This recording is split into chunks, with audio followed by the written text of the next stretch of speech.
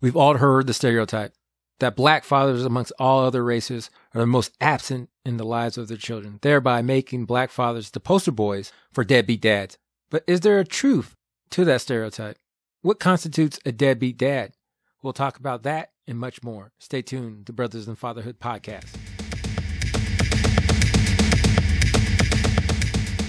Welcome to Brothers in Fatherhood podcast, the show that is by black fathers for black fathers. I'm Apollo. Today we're continuing the conversation about stereotypes that the black fathers are deadbeat dads. Where does this stereotype come from? Is there some validity to the argument? If so, how can we change the narrative and culture? Today we have Joe, Alfred, Tedman, and Cleve. Brothers, let's continue the conversation.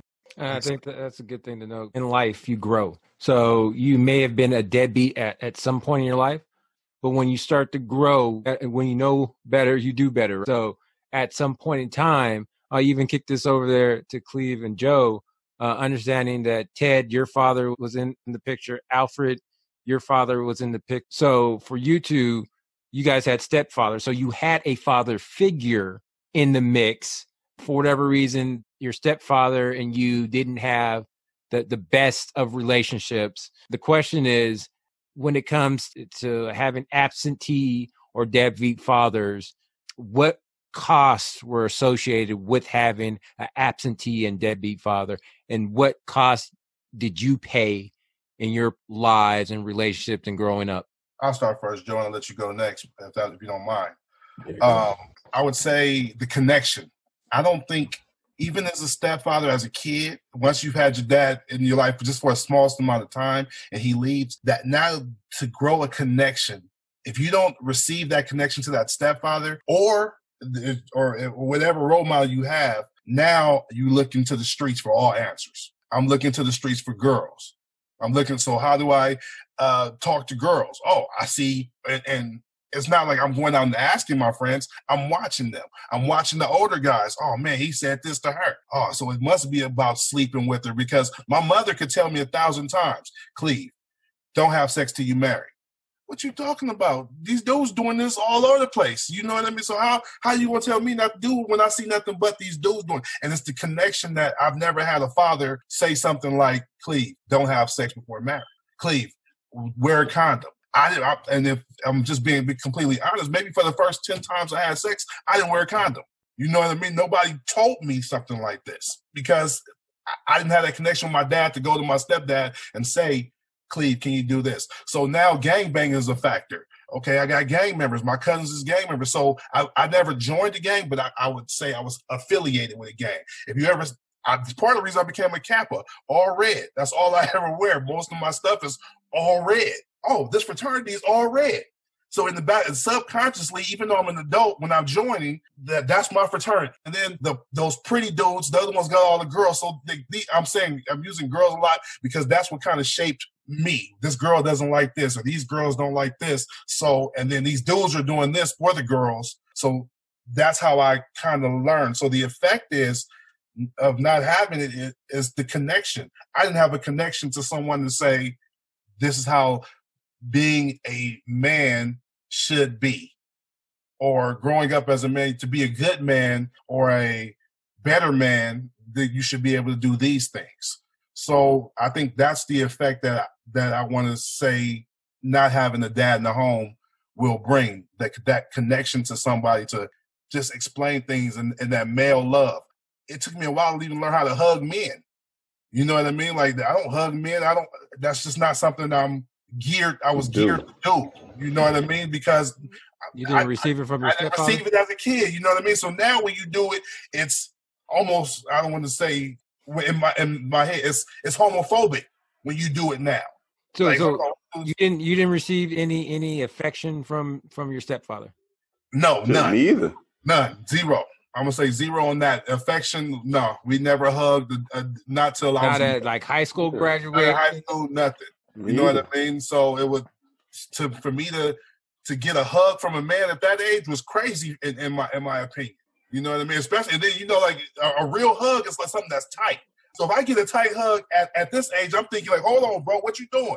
You know what I mean? Because right. it's, it's, crazy. And kisses, like, but now, don't get me wrong, I kiss my sons. I hug them tight. You know what I mean? I let them know, son, I love you. I try to do things that I guess if, if I, I, I imagine if I had a real father, he would have done. Not a real father, because my stepfather was a real father. I, I, I want to clarify that he did exactly what he was supposed to do and took in somebody who wasn't his actual born son. So mm-hmm. I'm gonna say if I had what what I expected in my mind to be a real father. So he, he was a decent role model. It, the relationship between you exactly. and him exactly. just wasn't there because you were still holding on to the idea of that what you had of your actual biological father to be in your life. Exactly, and that's and that kind of caused a rift between me and him when he could have it could have went there. But as an adult, me and him are tight as tight and thick as thieves. Okay. Now, so th- that's what I'm saying. So as you grew older, you learned to appreciate what you had in that father figure. So now the relationship between you and him as an adult his father is a lot son. better. What about you, Joe? Is, is, your relationship with your father now? Not going into details, but uh, you you you were around enough to, to know my stepfather. My mm-hmm. stepfather probably, I think, because I didn't have the father dad. He didn't know how to be a real dad like that, but everything he did and that that lifestyle he lived, he you know I mean he passed it on to me. But when it comes to education, school, teaching me things like like you know uh, changing a tire, uh, learning how to do stuff from IKEA. Like that's why I don't buy stuff from IKEA. I don't know how to put the shit together. You know what I mean? You know, so I don't. I don't know. I don't find instructions. I don't. I don't even. I don't do it. My wife does all of that, and we and people make fun of me.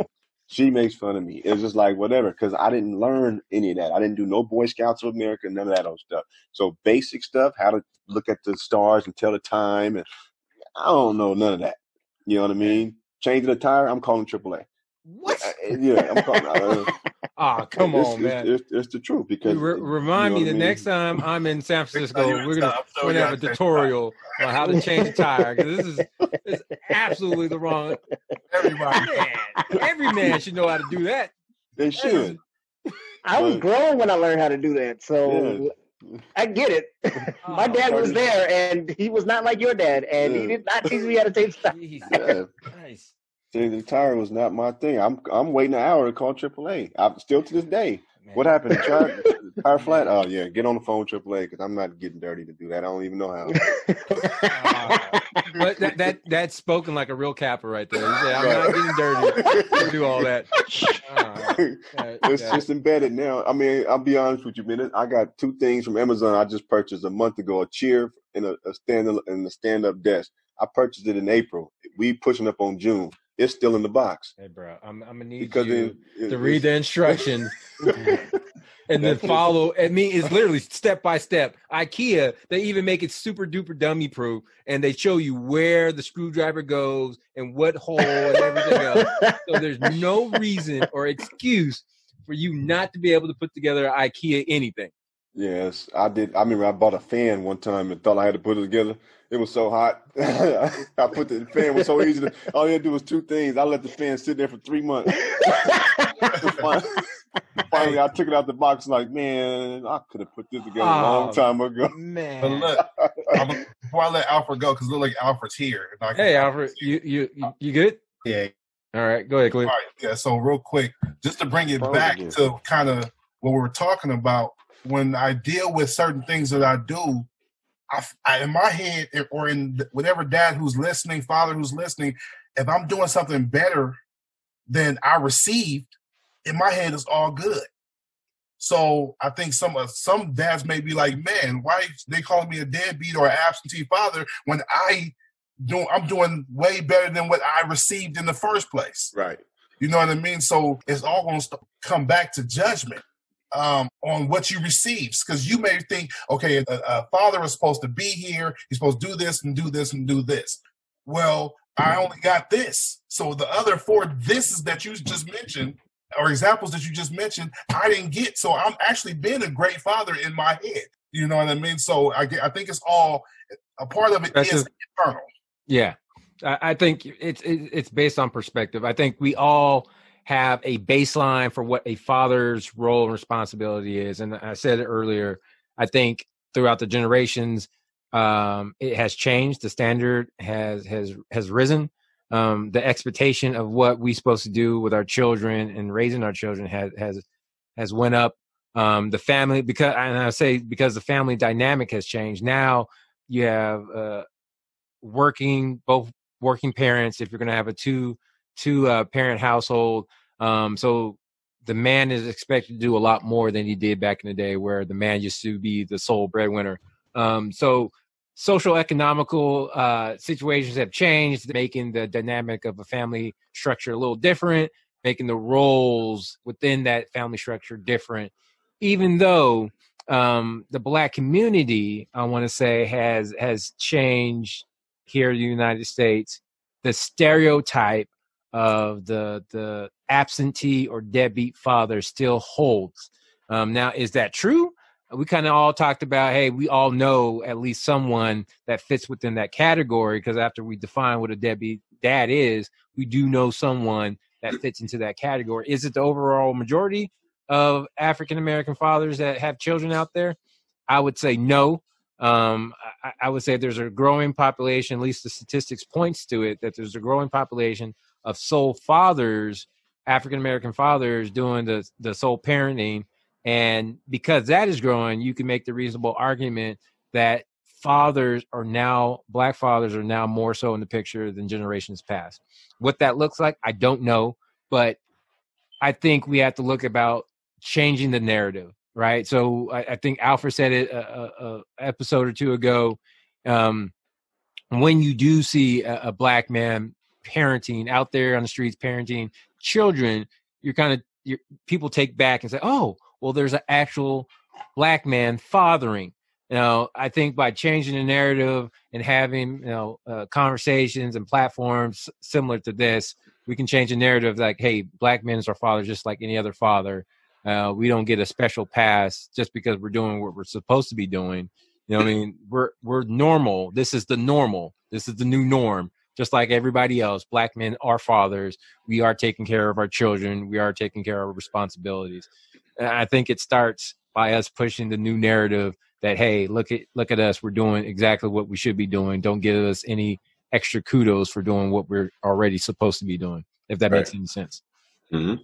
I want to wrap up with final thoughts on on deadbeat fathers and and the overall consensus of of this topic where we should go from here understanding that we de- define deadbeat fathers what we think about um, the black community as deadbeat fathers, the black men as deadbeat fathers, and or absentee fathers. I'll let Alfred go first since he's been missing in action uh, for most of the episode.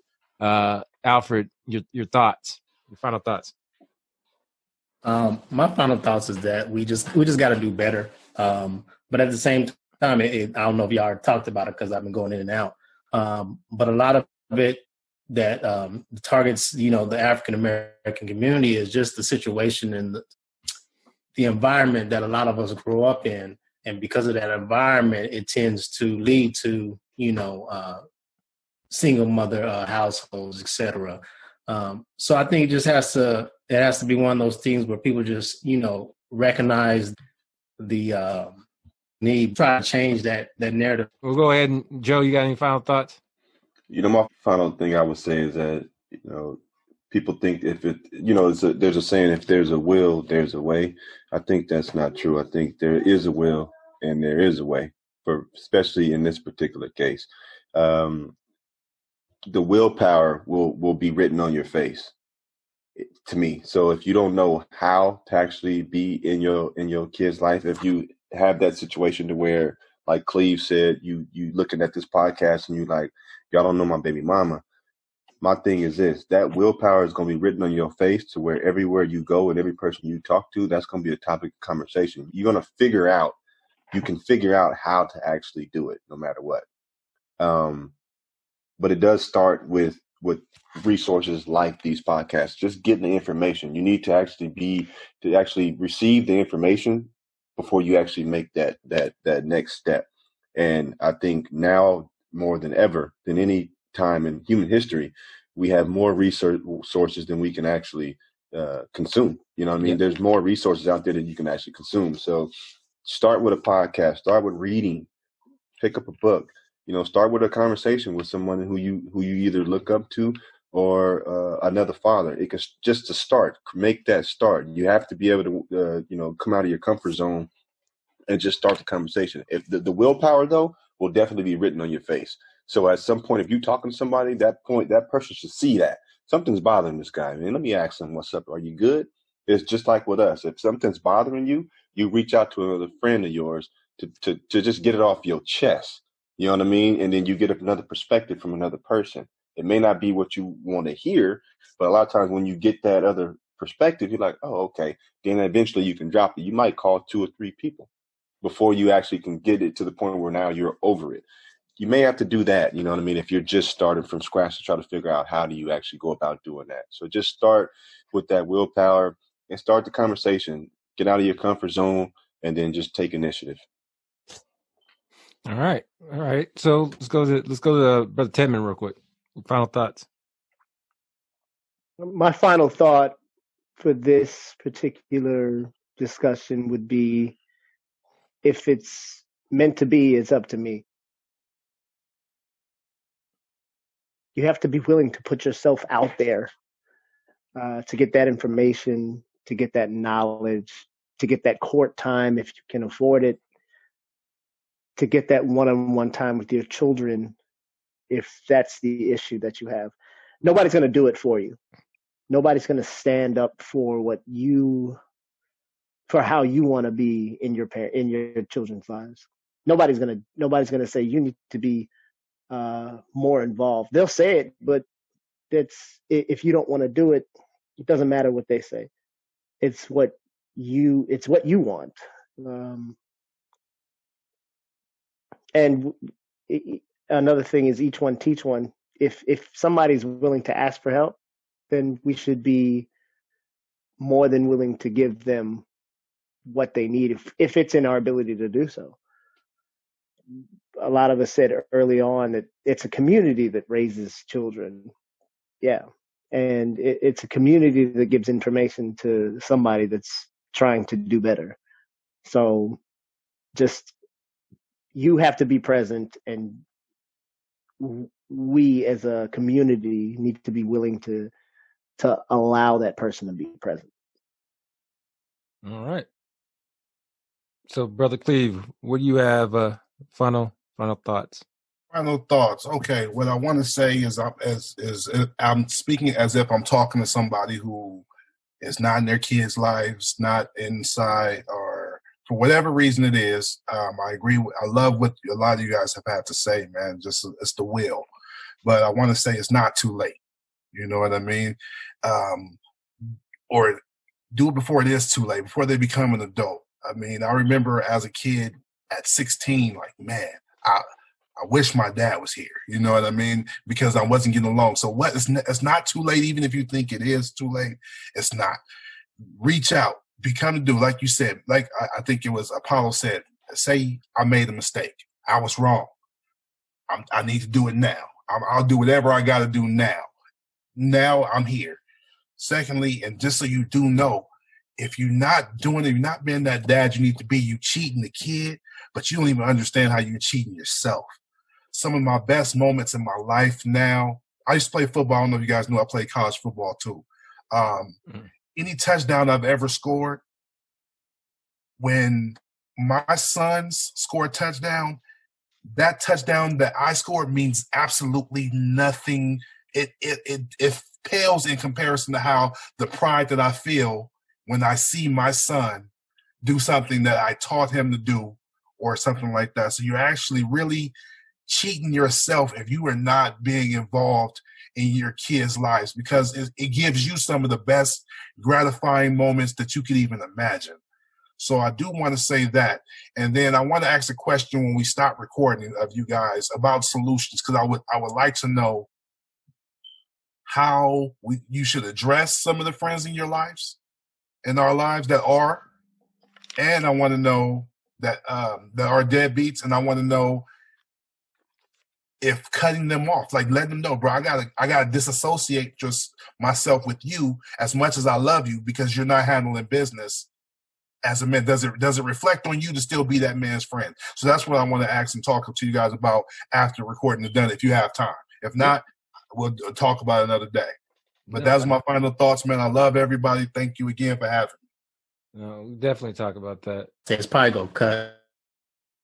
I'll say my final thoughts and, and leave uh, Alfred with the final uh, wrap up. Um, so there are uh, my final thought would be um, it's not a right it's it's a privilege to be called dad. So i think any man that donates his sperm can be a technically a father of a child. I think it's it's a, a special character that you own your responsibilities and and you do your part and you can be called dad so what does that mean? It means that you have to earn it from day to day. It's a job. Every day you're doing work. You come home from your other job or whatever whatnot that you're working at you have a job. You have responsibilities to to take care of as a father. So i think it, it's a continual thing that you have to live and learn um, but by by no means is it going to be easy. It's going to be rough patches ahead there's going to be sick days it's going to be all this other stuff you can't call out from being a father like you could for your traditional job so if you need to charge ahead and figure out a way so that you are in the life and you're, you're present in your children's life, by all means, is your role and responsibility. It's your duty. It's one of your duties within your job description as a as a father, as a dad, in order to make happen. So I, I can't see, I can't fathom the reason why gentlemen aren't or, or, or men aren't in part of their or their children's lives. To me, it's non-negotiable uh, as a as a father that hey, I have signed up for a, a, lifelong roller coaster, which is called parenthood. So you're gonna have your ups, you're gonna have your downs, but at the end of the day, you have to do what you you need to do uh, for those for those children. And I'll leave it at that. Go ahead, Alfred. My final thoughts is I just say we just got to do better um, as a people, as a community, as a whole. Um, and if we see people in those situations or individuals in those situations, I think we got to take a charge on ourselves and say, hey, if I can be a part of this uh, individual's life, I'm talking about young black men, if I can be a part of them life, even if it's just saying, hey, young man, how you doing, or how's you know school going, or how you feeling, just something, so that way them growing up in that single parent family household without a male figure, it'll give them something to aspire to be. So that way, when they get into a position and them having kids that they will want to have a different mindset uh, than than they have been accustomed to or they have grown uh, grown up in being in that situation of without being having a father. Um, and I think Joe had mentioned earlier how you know he had a mentor, uh, Mr. Stingley, uh, and because he saw how he was raising his family, he took a charge of himself. He like, this is how I want to be when I have kids one day. And uh, that's why I say if, if we have that opportunity to do so, I think we need to to implement that and to step up. Uh, we just got to do better. Uh, and then you know, just just people. I mean, we just got to take more responsibility. Um, if you do the do, you just gotta you know step up and, and be that man and and be a part of that child's life, uh, no matter how difficult it may be, because um, it definitely will make that child you know a better person uh, in the future. Yeah, I think I think you hit it uh, right on the head, Alfred. I mean, you have to. My idea of being a man is owning your responsibilities, right? So that's a that's a part of manhood. So just being a, a, man and owning up to your responsibilities, you you put yourself in that position, whether you intended to or not. Now you have a child, and now it's time for you to step up and be a man and own your responsibilities. So exactly. I'll leave you with today's dad quote. Today's guide quote I found randomly on Pinterest.com. It reads Deadbeat Dads. If you don't spend any time with your kids when they are young, don't be surprised when they don't want to spend time with you when they're old enough to see what kind of parent you are. Author unknown. Make sure you join our Facebook group, Brothers in Fatherhood. Follow us on Instagram at Brothers, the letter N, Fatherhood, and on Twitter at Bros, the letter N, Fatherhood. If you haven't already, please subscribe to our YouTube channel. Brothers in Fatherhood. Thanks for listening to the Brothers in Fatherhood podcast. Before we go, show some love for your favorite new podcast by leaving us a review on Apple Podcasts. Then stay tuned for next week when we'll discuss a special Father's Day episode that you can't miss. We love to hear from you. Drop the Brotherhood a line. If you have a subject you want us to tackle or you just want your voice to be heard, please send all questions or comments to the Brotherhood at brothersinfatherhood at gmail.com. Stay blessed, stay safe.